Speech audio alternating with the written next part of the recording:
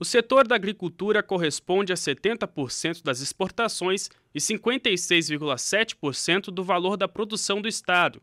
Para trabalhar em frentes com o objetivo de melhorar o setor, a Comissão de Agricultura se reuniu para escolher o um novo presidente e vice-presidente do colegiado.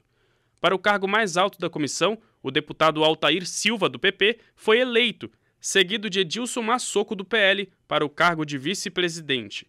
Altair Silva, de 56 anos, citou sua experiência no campo desde pequeno e defendeu melhorias no setor. A Comissão de Agricultura ela tem uma responsabilidade imensa com a economia de Santa Catarina.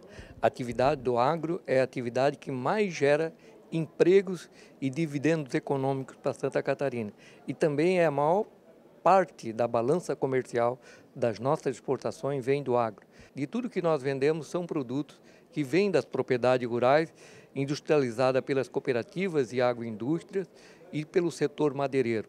Nós temos uma responsabilidade enorme, através da Comissão de Agricultura, criar políticas públicas inovadoras para fazer com que o empreendedor rural tenha suporte jurídico, tenha políticas públicas adequadas e que tenham condições de fomentar e incrementar a sua atividade na propriedade rural. Também fazem parte da comissão Camilo Martins, Napoleão Bernardes, Neudi Sareta, Oscar Gutz e Volney Weber.